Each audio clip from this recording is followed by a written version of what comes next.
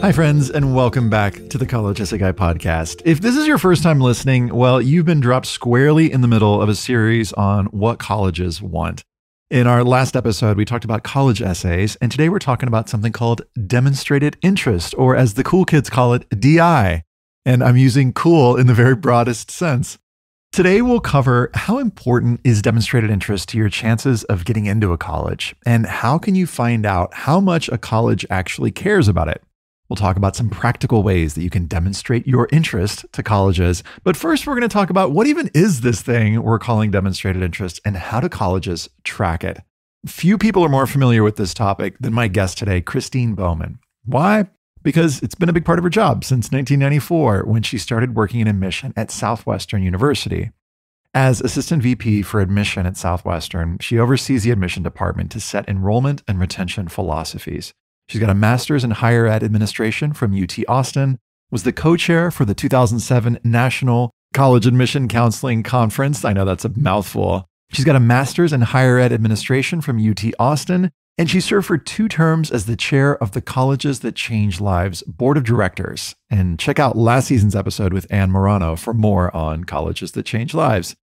Christine currently serves on the advisory board of the Rural Opportunities for College Access, and with almost 30 years of experience in the admission profession, she believes in guiding students to find the right college fit and regularly gives presentations encouraging a stress free college search process.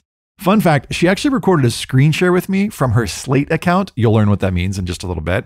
So you can actually see what a college admission officer's view is, like what they're tracking and how it's showing up inside their account when it comes to demonstrated interest. I'll mention that to you at the end to remind you, and I'll link to it in the show notes. Hope you enjoy our conversation. Hi, Christine. Welcome to the podcast. Thanks, Ethan. It's great to be here today. So, let's talk about demonstrated interest because this is part of a series that we're doing on what colleges want. And David Hawkins, in the episode that sort of set this up, said that demonstrated interest, which we're going to define in just a second for folks who are like, what are we talking about? Is something that wasn't on the sort of like thing that was on folks' radar, as it were. In other words, in terms of the things that students and parents need to be thinking about, it wasn't even really on the radar until a few years ago. And now, once it, you know, folks started talking about it, it jumped up huge as something that folks are talking about. I'd love for you to just, first of all, tell us what demonstrated interest is, and then give us a sense of how should parents and students be thinking about it. First of all, our definition demonstrated interest is the opportunity for a student to show a college that they are considering that they are interested in it. It kind of makes common sense. I am demonstrating that I am interested in your school. And I think we're going to hop to the reason why that may be important later. But why should students or parents be considering this? I'm going to flip the language a little bit early in the podcast. I want us to reframe it as demonstrated learning.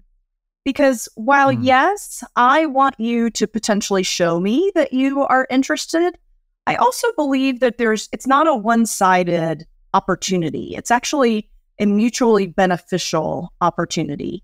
And that is with every opportunity that a student or a family has to express their interest, they also have an opportunity to learn. Is this the right school for me? Is this the place that we want to invest in as a family to help our students get an education? From a counseling perspective, is this the best place that I can send a student that I have counseled for the last two or three years to achieve their academic and social goals? And so mm-hmm. instead of being a transactional opportunity, I want it to be a relationship opportunity in which a student and family will not only raise their hand and say, Hey, yes, I am actually interested, but also then learn through that experience. And I think that's probably a myth I want to bust throughout our conversation today. I love what you're saying. I love this reframe, Christine. I think it's wonderful. And seeing it as an opportunity, I think does feel much more I don't know, values based and sort of almost like heart centered in a way. You know, this isn't like a thing that I'm having to do. It's like an opportunity for me to learn about what I'm hearing you say is like, where can I find a home? Where can I find a sense of belonging? That's right. So, from the college side, why is this so important? You know, I I think there's a variety of things and I have spent my career at small liberal arts colleges, but I have interacted with colleagues from large research institutions throughout my journey.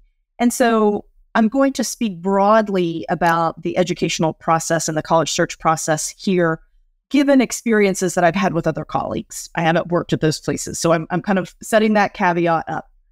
There are only so many desks at each of our institutions for which we can welcome students every year. And for many of our schools, we have far more applications than we have desks for which students can sit and learn and grow. And so we have to determine who is the best fit. Again, while students or families are determining, are you the best fit for me? To, to kind of make this match. And this is almost a little bit like dating. We're trying to get to know one another really well and then determine is this the person that's going to make my community grow and thrive? Is this the person that's going to be successful? Will they be an engaged alumnus? will we help them accomplish their goals as well? And so, because we're in a world in which, for a positive way, we've tried to make application processes much easier, we are trying to have students learn about more colleges than they've ever learned at before. I had 6,000 applications last year for 450 slots. How do I know who the right 450 are? and how to offer those offers of admission. Now, I admitted far more than that. But where we are in a world in which it is free to apply to many schools, the Common App and other regional or state applications appropriately make it easy to apply to college by clicking 10 boxes to say, please send my information to all these spaces. That's great. But then how do I know that I just wasn't one more box that you could easily click along the way, that you really do have some interest in me and want to learn more about me while I'm learning more about you. So, when we have institutional priorities, when we have limited seats, if you're a highly competitive institution that may only be able to admit five or six or 10% of their application pool, we have to look at ways in which we can pick a diamond amongst a diamond. And sometimes that diamond may be the person that has kind of raised their hand and say, I feel like you're a good match for me. I want to get to know you better. How can you get to know me better? And therefore demonstrated interest at some institutions, not all. Some institutions play a role. I believe that the demonstrated learning concept that we talked about in the beginning benefits all of us. And so I don't want families to feel, and, and I think we're going to talk about some of the hurdles along the way. I don't want families to feel this is a negative, this is one more complicated part of the process. This is growth for both sides in a really positive way. And that's how I have always viewed demonstrated interest, demonstrated learning. I love what you're saying. And soon I want to talk about what are some practical ways that folks, you know, students and parents can actually do this. I wonder if you could talk. One of the things that David talked about briefly on the podcast was talking about yield as it relates to from the college perspective. Will you say just a little bit about what yield is and how that might play into things? So, as I mentioned earlier, we had over 6,000 applications last year. We had 425 spots. We are trying to find the sweet spot of the number of applications that we say yes to in order to get us to yield that 450, 425 student class every year. I look at yield because I need to know how many students, if I offer X number of offers of admissions, how many students are going to say yes to me so that I can project an appropriate enrollment. I often will get families to ask, and it's a fantastic question. What if all of them say yes? uh oh. and the confidence that I can give is they never have. In 30 years, they've never all said yes. And I right. often turn it back to families and, and help them understand how many schools are you is your you know student applying to 10 12 20 that means i have a 1 in 20 shot of you swiping right picking me. right. And so I need to kind of watch numbers and play a statistical game, which doesn't sound very humanistic, but I need to make sure I'm offering enough yeses so that I will get enough yeses in the end. And that's what magically makes a yield. It is not something that is important in the day in and day out of students and families in selecting a college at most institutions across the country, but it helps me to know how do I prepare accordingly? Do I need to then take students off of a wait list? Do I need to say yes to more students in the very beginning because the president has charged me with growing the class? So, yield in some ways is an internal number. Where it can impact students and families from an external perspective is if a school offers 100 yeses and 50% of them last year say yes, that may be more than they wanted to enroll. And so, therefore, next year, out of 100 yeses, they only may say yes to 25. That's a lower admit rate, but it may produce a smaller yield as well. And so, to some extent, yield is an internal space, mm-hmm. but it can affect the work that we do. And, and and for some schools, that's where demonstrated interest can play a difference. If you're raising your hand then that indicates to me my likelihood of you saying yes back to me goes up. I'm more likely to yield you in this journey. Right. So, Christine, one of the things that really inspired me to reach out in the first place, I saw this awesome video that you did, and it was a webinar that you did with our mutual friend Sydney McDonald, and you you did a screen share of how colleges actually track demonstrated interest. And for those of you who are interested in that, we're going to, Christine and I are going to record a separate video where you can actually see under the hood, as it were, or behind the curtain, as it were, for what colleges are actually looking at when they're tracking demonstrated interest. But would you mind just giving us kind of like some of the bullet points or you know, paint a picture for us, as it were, of what our college is tracking when it comes to demonstrated interest? So, I think some very high level ones and the most simple, and I know some of these are actually listed and referenced in your excellent document that you have on your website in regard to demonstrated interest and maybe why is it important at some institutions and how students can express it. But the most basic level of demonstrated interest is a visit to campus. Again, try us on, see if we're the right fit. The jeans may look really good on the dummy in the store, but you may get to the store and realize these jeans don't look as great on me. This doesn't feel right to me. That's okay. That's why you go and have a visit, talk to students, sit in on a class. Does this feel like the right fit for me? Does it feel like these people are my people? Will they care about me? A second level of demonstrated interest, which is super easy and happens within your community, is the opportunity to go to a college fair or a visit when a college comes to your high school. Again, it's demonstrated learning. You have the opportunity to go to a representative of that school and ask some questions.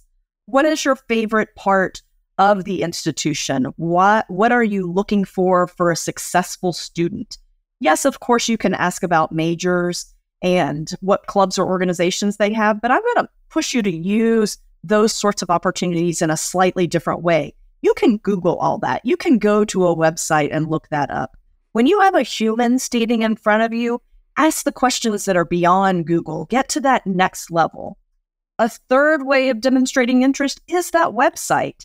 There's lots of information that we put out there. For some, you're going to be able to do three clicks and you're going to find the treasure trove that you're looking for. In other ways, you may have to click a few more spots to find what are their campus organizations or what are the requirements to be a biology major. But getting on our websites can show demonstrated interest.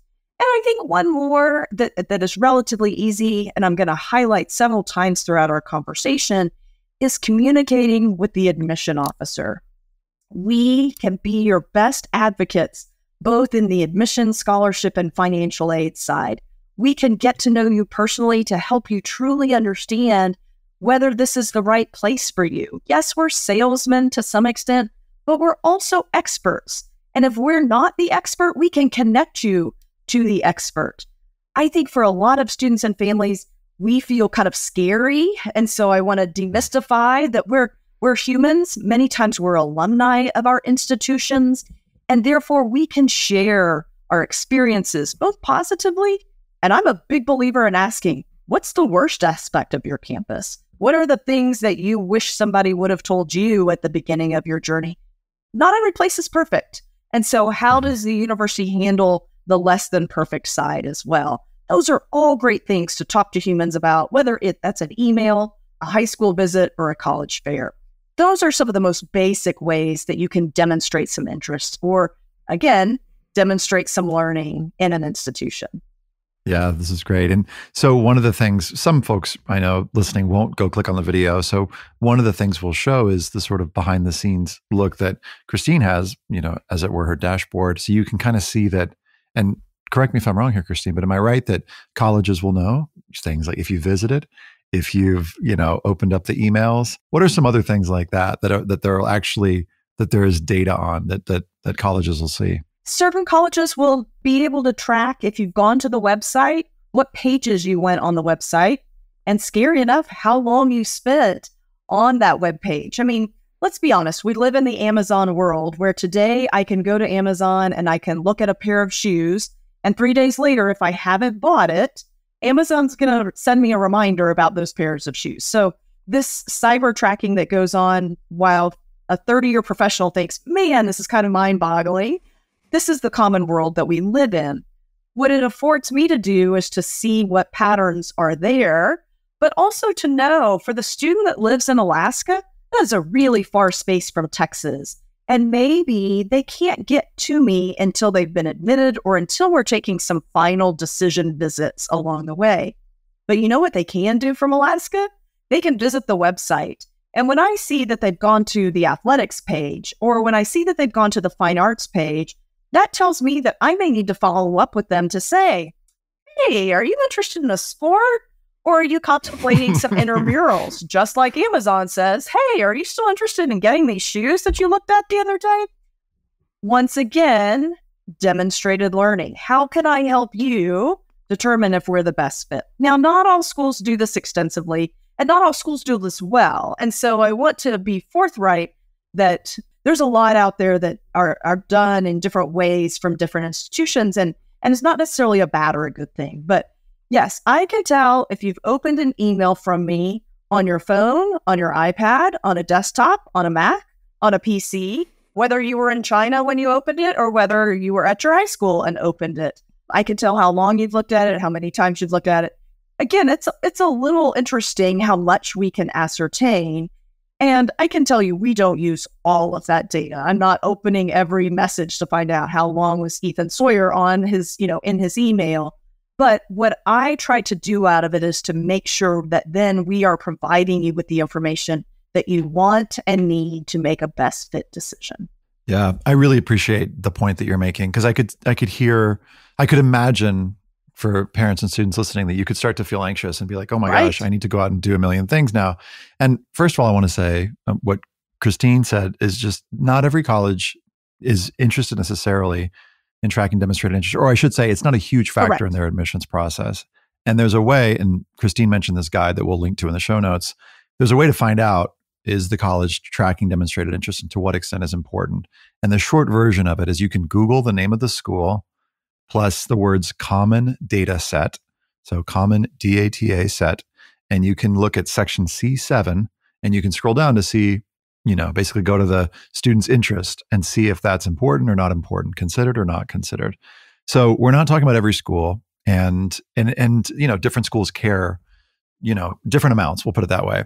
So tell me about, you know, at, at Southwestern, for example, for whom would something like demonstrated interest matter? Because I could imagine a student freaking out, being like, oh my gosh, if I don't do 12 things and make Christine my BFF, I'm not going to get in. Yeah.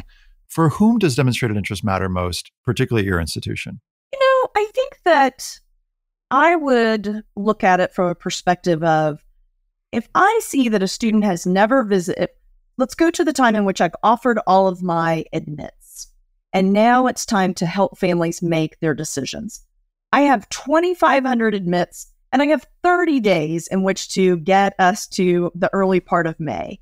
How am I going to reach out to 2,500 students and help them determine if we're the right fit? So I think to some extent, it's almost a bimodal, you know, a modality element. How much time do I spend on the student that has never visited, never raised their hand, doesn't open any emails, to me, when I see that sort of data, it tells me that the student may have submitted an application, but their interest is low. And if I have to choose where I'm spending my time, then I may not choose to put all of my efforts into that pool of students right now. The student that has visited six times, that opens every one of my emails, that has joined every chat or online program that we've had, probably has plenty of information. And if I had to target my work, I might not overly spend time on them. I may just check in with them quickly. I may send them a quick text and just ask, I know you've been super engaged with us. Is there anything else I can do? It's that middle bunch that I will probably spend my time on, my limited time, circling in to say, Ethan's opened some emails, but he hasn't visited. He responded to our latest email that says, I'm still considering Southwestern, but he doesn't seem to be moving real fast. I might want to spend some time on him. And so that's how I might use interest. Other institutions, though, I think we want to be fair to the audience. When they are making final, even admit decisions, they may say, I have five spots left and I have 25 students for which to fill those five spots from. Has raised their hand? Who has expressed, if, if all things are equal, if everything about the student, they are all business majors with a 1200 SAT that all have a 3.5 GPA and have 10 AP or dual credit courses, how do I differentiate between these 25 perfectly identical candidates? They may say, well, who's gotten to know us a little bit better? Who's hmm. raised their hand a little bit? I can tell you that for many institutions, even as you alluded to just a minute ago, they don't use demonstrated interest at all. Some will, some won't. And you referenced the common data set. There's another tool that you and I have talked about that I think is equally important to update our families and guests on. And that is a new document from NACAC that I know you were just talking to David Hawkins about. You know, what is important in the college admission process?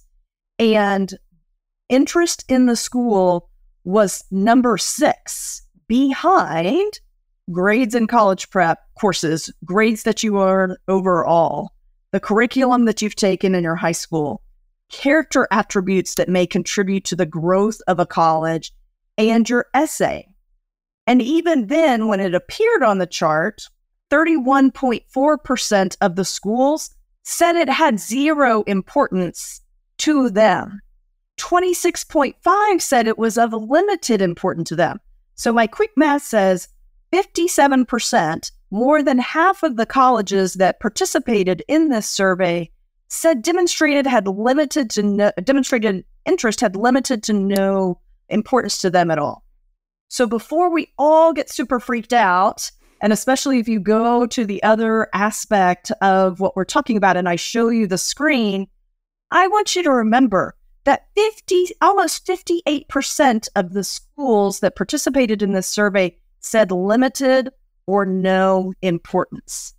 And again, that's why I choose the words demonstrated learning because it's not about the college in all situations. It's about the college in less than half of the situations. It's about the human, the applicant in a hundred percent of the situations. What is this activity teaching you about this community, this college, this opportunity for you to call home? If there are students that are listening to this podcast or parents, if you can help guide your students, one of the things that they are probably experiencing is an inbox that has exploded with messages. One way to demonstrate interest is that it is okay to break up with a college. It is okay to scroll to the bottom and click unsubscribe or go through their email one day and write mm-hmm. down every college that they are not interested in and then send that college an email admission at Southwestern, admission at utexas.edu, admission at trinity.edu, and say, I have chosen to apply to other institutions. Please remove me from your communication list. Thank you very much. And the reason why gets to the point that you were just trying to ask about, Ethan. There is great information that we're going to send to them, but when it becomes so cluttered, we can't see the forest for the trees. When you break up with a college, especially via email, you can do the same activity with the paper that gets out of control as well. It allows students to be able to truly want to click on the messages, from my college to learn more. That click is demonstrating interest. But when they open up their email and they see they got another 60 emails today from colleges for which they don't even know why they got on those lists, and that's a whole nother podcast that we could engage in. I think it's overwhelming for them. And I get that. My only other caveat I'd give about breaking up with me is that before you click on that unsubmit button, do me a favor and do five minutes of research to see are we a fit for you, even though you've never heard of us. Yeah, I will use my own child as an example in this. My children know that they are the product of an assistant vice president of admission, and therefore they get thrown under the bus all the time. But my daughter, when she went through her college search, received communication from Montana A&T, a fine institution that serves its community and population really well. My daughter grew up in Texas. She grew up in the warmth. She had some very clear delineations of where weather-wise she wanted to be. And she asked me why might they have reached out to me. I have no desire to go to Montana. I didn't ever raise my ha- hand for Montana maybe I am demonstrating interest to you by saying, I need some more people from Texas on my campus. I want some diversity on my campus. Or maybe we're trying to build our education program. She was an education major. And therefore, we want to show you our new bells and whistles. I get that you don't want to be in the cold. And I get that you don't want to be 12 hours from home. Great. Click and subscribe, move on, and break up. For others, you may have just never heard from a school before. It may have all the qualities that you're looking for, maybe in a region of country of interest, and therefore demonstrate some learning. Raise your hand, click on the website. Do they have my areas of interest? Are they in a part of the country? So, all that leads back to our question of which I'm going to ask you to repeat because now I've already forgotten what we were going to talk about. I love that is an awesome parenthetical. That's such great advice. What I'm curious about is when it comes to students thinking about reaching out to a college and just emailing, you know, admissions at such and such college or university, how do they even start that process and what are some do's and don'ts? When a student in their senior year begins their process, this is an example. Southwestern will send an email that says, Hey, Ethan, I'm your admission counselor, Christine Bowman, and I can't wait to get to know you here's a link that you can click on to get to know a little bit about me. And mine talks about my love of cooking and that I like to watch movies and that I when it's not 200 degrees outside, I like to go for a walk in in the Texas summers and hiking. And all of a sudden, you may say, "Huh, Mrs. Bowman likes to cook. I like to cook." I'm going to send her a quick note back that says, "Mrs. Bowman, I'm excited that you're my admission counselor. I see we share a love of cooking, or I also like to read. I like to read as well. I've swapped book recommendations with many prospective students over the years and read some great ones that they've recommended to me, by the way. And so it doesn't have to do anything about college, it doesn't have to do anything about Southwestern. But when we introduce ourselves in this way, we're trying to humanize the person that's going to be your guide on our cruise. And we want to let you know that we're real people just like you are. And hopefully you see something else that, that makes a connection. So it could be that you're sending me back a, hey, I made this dish last week. If you really like Chinese food, give it a whirl. Um, so that's one thing. Another question that might be really simple is I did some research on your academic interests. Again, don't ask me Googleable questions. Get let's get to that next level a little bit. I'll answer your Google questions, but there's easy ways to find that out. I'm really interested in going to medical school. What are some of the unique things that your school does to prepare students for medical school? I see that you have a communication studies major. That's not radio, television, film, which is where my interest is. Can I study film or TV at your school even though you don't have this? And why would I want to do that? Those questions that are more than yes or no can really open up that relationship for us. And I will tell you, at the end of a long day of meetings that have nothing to do with prospective students, some of my favorite things to do at night is to answer those sorts of emails from students to say, How can I help you learn more about us and determine whether the right fit? Some of them are more transactional. I really would like to play softball and I can't seem to find the coach's name or contact information. Can you help me? I don't mind those questions at all. I appreciate that you tried to find it. How do I set up a visit? Once again, happy to help. But I think I really enjoy when that student kind of shows a little bit of who they are so that I can then help them, again, demonstrate your learning. Are there any situations, and you don't have to obviously name names or get too specific, but any situations where you feel like conversations like that, email conversations, ended up coming back when it came to like, you know, influencing a decision? And again, saying to everybody, Christine said, this is not a make or break thing, but I'm just curious if there are any prac, you know, any sort of examples of like, hey, here's a time when it when it really did make a difference or it did come back on my radar, a conversation that you had, for instance? I think sometimes it helps me when I know a student is coming to visit that I might go up to the to our visit coordinator and say, you know, when I I've, I've had this great email communication, this great text communication with Ethan, and he is really interested about in political science, and he's really interested in Latin American political science.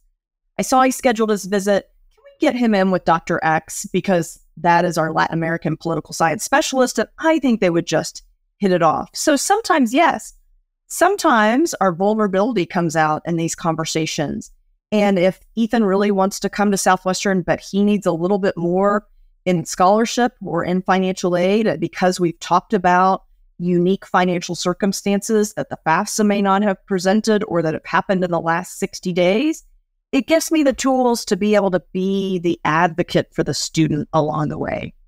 Sometimes it's the first time I see them on campus after they've said yes. And I may say, you know, Ethan, I remember our communication last year as we were going through this college admission process and that you really loved cooking and we talked about a food club. Let me know if you want me to be the faculty sponsor for that organization. And let's get something fun going and let's eh, organize with the dining hall so that their chefs can be involved. So sometimes it helps make connections to campus once a student is there. Remembering my goal is to recruit graduates. And so I obviously want to admit you, I want to give you scholarships, I want to get you financial aid, but I also want to make sure that once you get to campus, you're a happy camper and that you're going to excel, that you're going to grow, that you're going to thrive. And so sometimes those conversations to lead to those connections. I would like to be in this particular organization. Who do I reach out to do that. Or I notice there's no longer a debate club. How can I start a new organization? So, yeah, they can play out in a variety of ways. There's going to be differences between big school and small schools, between publics and privates, as to how those connections are used. But I think that, again, I use these interest opportunities to make sure we're fitting, make sure I'm placing you in good hands as I pass off from the admission process to the, the student process so that you can be successful. I love the prospect of inviting students to visit because I do think it's such a powerful thing that can happen. But of course, and we've talked about this before, you know, in the world, access is, a, is an issue for students. And so let's talk about equity for just a couple minutes. What about students who can't visit? You know, a lot of the students who listen to the podcast, for example, are international students, or maybe they just don't have the funds, or it's just too far or they missed that window for the the fly-in visit to you know whatever school what are some ways that students can demonstrate interest that don't involve necessarily visiting campus? And you've already mentioned a couple but what else yeah. is on your brain? So i think this is a, a fantastic opportunity to reflect and and i work with a population of students for which getting to campus is not always easy. And so i'm excited that we're kind of transitioning into this. First of all again utilize your admission counselor if we can't, uh, one of the positives about COVID is that we figured out something beyond a telephone to communicate with. And if you can't get there, it doesn't mean you can't see it. It doesn't mean you can't experience it. It doesn't mean you can't speak to somebody about it. So I work with students from New Mexico. I'm very excited about my work with the Land of Enchantment. But I make a purpose of connecting my New Mexican students that are on campus to other New Mexico students that potentially can't get to campus. Help them set up a Zoom, help them set up a visit when my current students are going home over the holiday break and they maybe meet at a Starbucks or a coffee shop. Is there somebody that's coming from a similar background with you? I'm a Native American student and I'd like to speak to another Native American student. All right, how do we make that connection?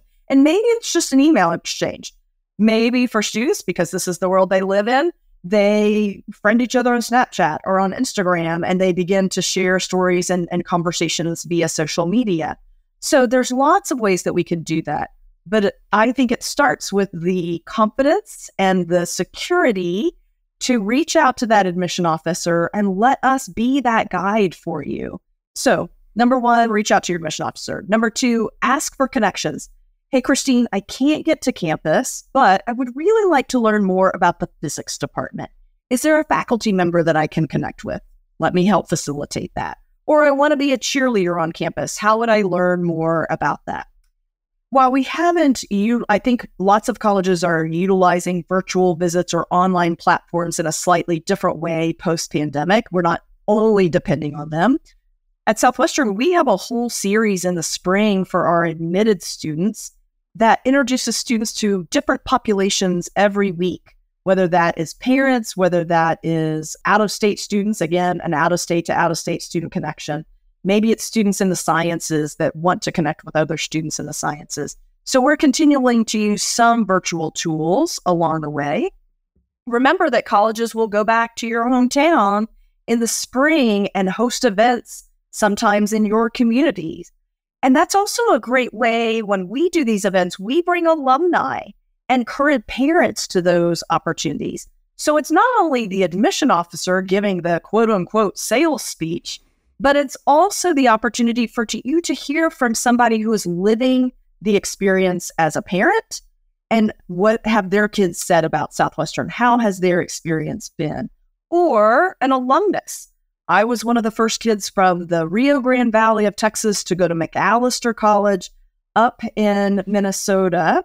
What is that like along the way? How does that feel? What was the hardest transition that you had? in making that change. And so you can utilize more than just the admission officer. And again, when I come to you, you maybe drive 20 minutes across town. You don't even have to drive to the campus or get to the campus quite yet, and still can have an amazing connection with people associated with the institution. So don't be afraid to ask. Don't be afraid to hop online. And don't be afraid to go to those local events and make those connections, all from the comfort of your community, your home, your state.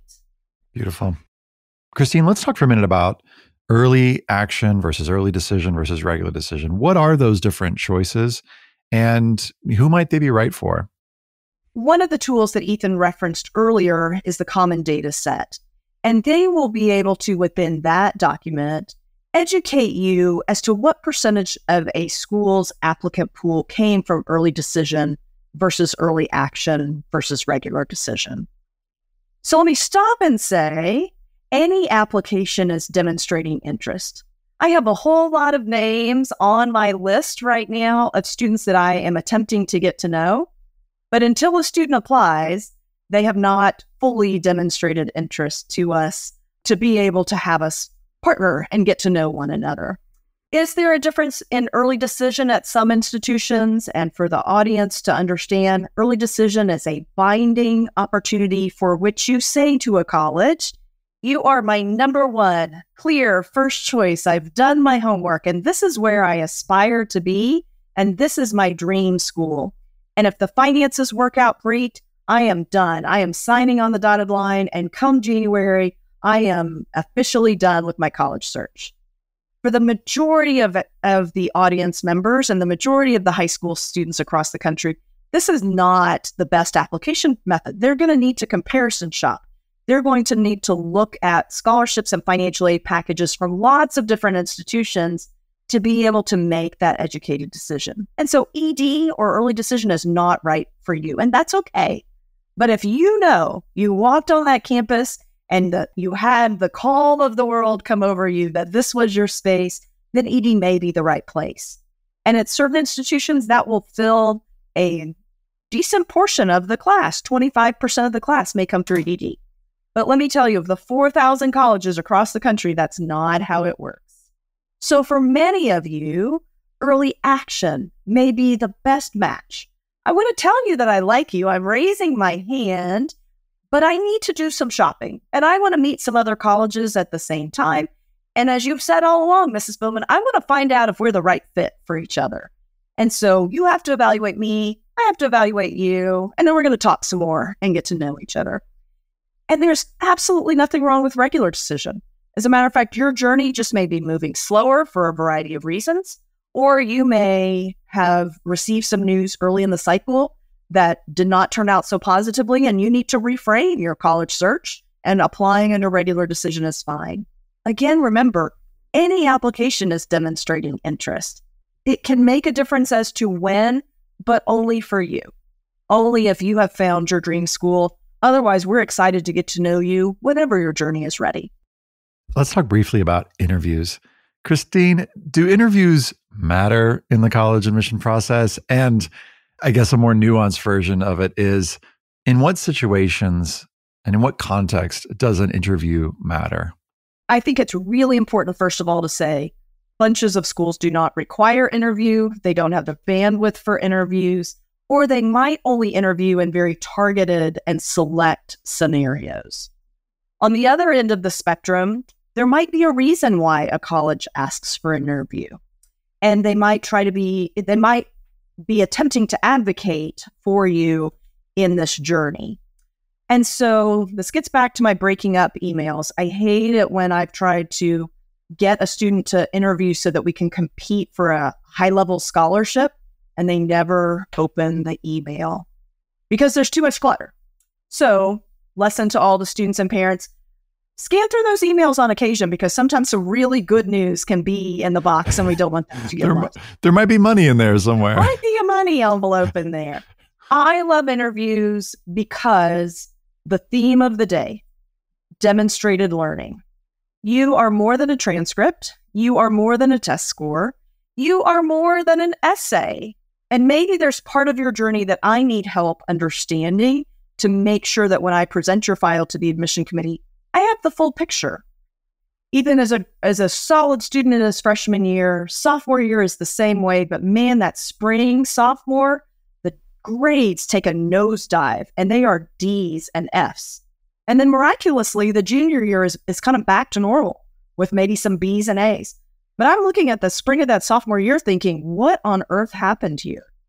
No explanation of it in the essay, no understanding of it in the you know, kind of open comment section that students might have.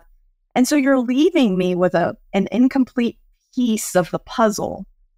At my institution, we value the opportunity to at least attempt to get to understand that.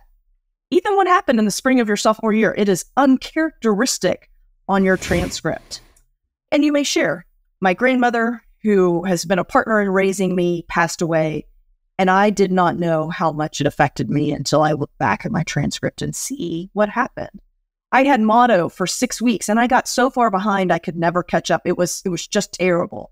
But as you can tell, the rest of my high school years, I've really been a great student. I hope that you will be able to, to help present that information to the committee.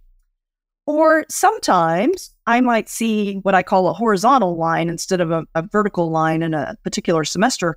The horizontal line may share that maybe math is not your friend. All the other grades on your transcript are, are really quite amazing, but math is not your friend.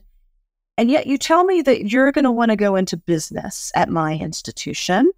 And so I might use that as an educational opportunity to say, hey, here's what we need to know.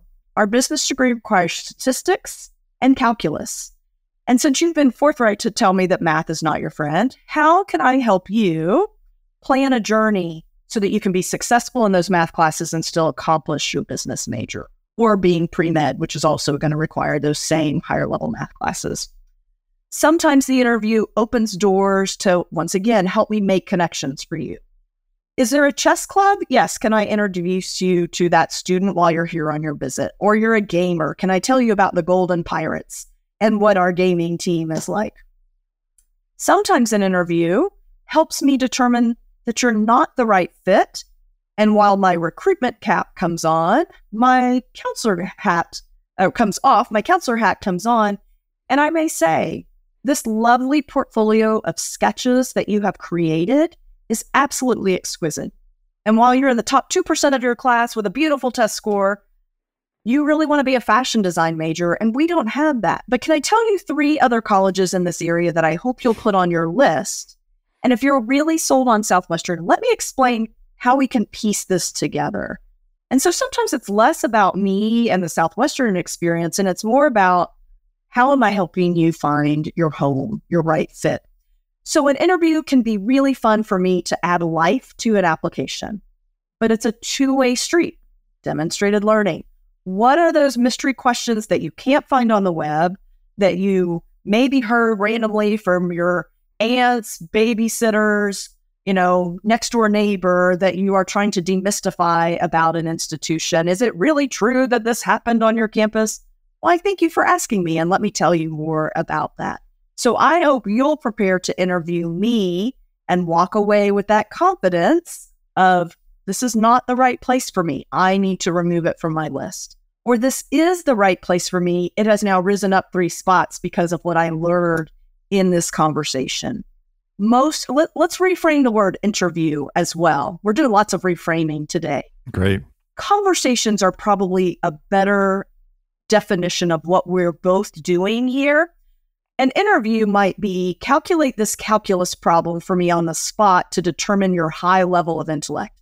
I don't need that. That's what I have your transcript for. I don't need to know that you can con- conjugate this sentence in a foreign language for me. But what I do need to know is what's going to make your heart happy in college, and can my school provide that for you? And so this back and forth of information allows us both to demonstrate learning for one another and find that right fit. So, students, if you get called for an interview, I don't want you to be freaking out about it. It's the opportunity for us to learn. Now, sometimes the interview can be a little bit more of a nervous point. You are on the margin, and I want to put those pieces of the puzzle together and try to advocate for you in the admission committee. And so be honest that math isn't your friend. Be honest about what happened in the spring of your sophomore year that maybe caused your grades to slip. We are humans. You are humans. We are learning how to get ready for the next phase of our adult life. We don't need you to be ex- perfect but we do need you to be real so that we can help you be successful. And that's how you best utilize that interview conversation with your admission officer. Yeah, a reframe that I'm present to as you're sharing, Christine, is the notion of thinking of your college admission officer as a resource. Mm-hmm. And I hear that in the what you're suggesting in terms of email and also in these interviews that if you can sort of, I think I'm speaking to students now for a second, if you can kind of like I know it sometimes feels maybe like you're looking up to these people and seeing them as being the power, the holders of power. And in one sense, yeah, let's be honest, that's true. They're in some sense the gatekeepers of like, do you get in or not get into the school? But in another sense, yeah, these are just humans who are trying to figure out, you know, is this is this person, meaning you, a student, going to be a great community member? And so, yeah, there is some way that they're trying to suss that out. But one of the best ways, and we'll link to our interview guide in the chat or in the show notes rather, is is to think about what are those questions and there's there are some ideas about different questions that you can ask during that interview scenario to really get in and, and build that connection and and develop begin to develop that relationship we're on the same page though in terms of what you're saying christine let's talk to parents for a minute how do parents situate themselves in this yes in this process and maybe you can speak specifically to sort of this demonstrated interest element what can they concretely do and if you like, what are some things they maybe shouldn't do or sort of take a, a backseat on? Sure. I first want to recognize that parents are understandably a part of the journey. They are most likely a partner in the financing aspect of it in some way, shape, or form. For some families, more or less. They are a mentor and a guide, and they know their own child better than any of us in the admission world do. They have spent extensive amount of time with them where we're only getting a snapshot. And so I think that parents have to play a role. But I think if I were to give two immediate bits of advice to parents, actually, I'm going to go three now that they're popping into my head. Number one, we are not going to college. Your student is going to college. And part of this transition into young adulthood or real adulthood is that collectively we are all empowering them to make this transition. And so there are things that you truly need to let them do on their own so that they can show their demonstrated interest. It also then begins to build their confidence about how they will tackle crises or problems or even just normal conversations on campus. If they have the ability to to write an email to an admission officer, they're going to then have the ability to feel confident to write an email to a faculty member or to maybe inquire to the Dean of Students office about something that is important to them.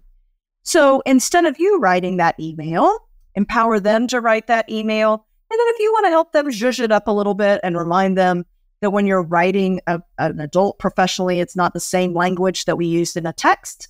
Those are great tips and skills that a parent can provide along the way. I value that you will have questions that may be very different from your students. And as a parent who has led two children through the process, sometimes you want to ask them separately of your child because otherwise you're going to receive eye rolls and or bumps in the uh, rib with an elbow saying please stop asking questions so i do want to respect that you have needs and may have time that you want to ask of us in this journey. And i welcome those emails and those phone calls so that you and i can potentially perform this partnership to help your students determine whether this is the right match. Because as i said in the beginning you know them better than we do. And and you, you may be able to ask some questions that they quite haven't learned how to advocate for themselves along the way. A frequent one that I welcome from families is understanding how does my student that has a 504 plan or has some learning differences or needs a special accommodation handle that at your college? I'd like to guide them through that process. I am thrilled to be able to point you in the right direction and give you the confidence that we have an office that can support you. And your student may be embarrassed or may think that that's detrimental in the admission process. And let me tell you, ask those questions. So I, I value that. And then in the third space, I certainly value at uh, value the conversation about finances. And the financing models have changed from when many of us went through our own college experiences price tags have significantly changed since many of us went through our own college experience. And so, if you are a first gen family, or this child is the first to go to college, and so you're navigating this journey for the first time, please look at us as resources and let us know. My child has you at the top of their list. How can we work together to make this affordable? Are there things that we need to be thinking about in a different way? But what is less helpful is when you do everything for them. And so I want to empower you, parents, to begin to empower them to adulthood. If they come to you and say, Well, I just don't know about Wabash University and whether it is right for me, whether an all men's college is right for me, empower them. Reach out to your admission counselor. Let's go make a visit. Oh, I think I saw that there's a webinar coming up. Have you thought about joining that? give them the tools to do that demonstrated learning, and we will all grow and all learn from each other. And we're helping your student get ready for that next phase of life. Also, don't fill out their applications for them and use your email. Not good. Not good. Christine, as we wrap here, what are some things that you hope that we let's talk first to students and parents that you hope they'll keep in mind, and then let's talk to counselors, you know, CBO counselors and staff what would you like them to keep in mind?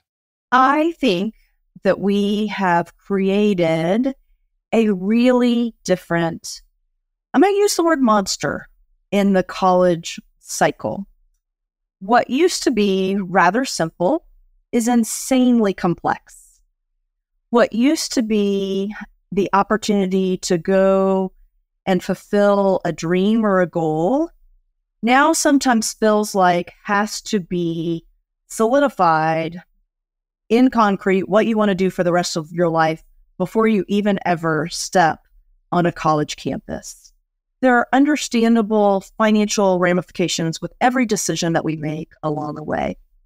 In all of this, I think one of the other challenges that we collaboratively face, students, parents, counseling partners, colleges, is that in all of this evolution, we've created a lot of stress and anxiety. And I'm sad for that because that's not what it's supposed to be about. And so when a family is considering whether a student should take that 28th AP, IB, or dual credit course, and I use that number somewhat facetiously, please don't ever take 28 high level courses. Ask yourself, does this bring me joy or will this cause me sh- more stress or anxiety that I don't need? Because what I am seeing in essays, in counselor letters, in student conversations, is more anxiety than I've ever seen in my 30 year career. And going into college does not have the same comfort or feel or enthusiasm as it used to have. Young folks, remember that this is intended to be a most amazing next phase of your life. And while it won't always be perfect, and days will be hard, and classes will be difficult, and you will make a grade on a test or a paper or a quiz that you are mortified of, you will still finish the journey and become a citizen of the world. And that is okay. Parents, your students are going to evolve. They are probably not going to call you as frequently as you would like. They are not going to respond to your texts as fast as you would like. But that growth opportunity for them to evolve from graduating high school students to adulthood is what this experience is about. They are going to call you panicked, frustrated, homesick, challenged. And my words for you are to ask them this question Do you want me to hear you, help you, or hug you? Because sometimes all they need is a hug. They just need to dump on you that they have had the worst day in the histories of days. Sometimes they just need to be heard. My roommate is making me crazy and I don't know what to do. And once they've gotten it off their chest, they can move on. But sometimes they truly need help and guidance. But we play different roles at different times, and our natural parental instinct is to want to jump in and solve every single problem. And we shouldn't. And that is where they will grow. Counselor, counseling partners, CBO friends, I want to thank you for your work because it is immense. It is overwhelming, and you are by far not paid what you need to be paid to do all the things that you are asked to do. But your knowledge, your experience, as sometimes you get to visit our campuses when your students can't, the ability to give history from past students that you know of that have gone to our colleges and done amazing things we're partners for a reason. And I, I can't, and I say this, I, in a collective college admission officer perspective, we can't do this without you. And so thank you. When when you don't hear it enough, know there are silent cheerleaders in the background saying thank you. Christine, thank you so much for your time. Thank you. Thanks, friends, as ever, for listening. You'll find the show notes at collegeessayguy.com slash podcast, including the links to all the things we discussed. Don't forget to check out the video where Christine screen shares from her Slate account, and you can actually see what an admission officer sees when it comes to how you've been demonstrating your interest or not. It's pretty dang interesting. In fact, it's what inspired me to bring her on to the podcast. Stay tuned for our next episode where we get into the next thing that colleges care most about recommendation letters. That's with my wonderful co host Tom Campbell and a special guest whom I also adore. Be well and stay curious.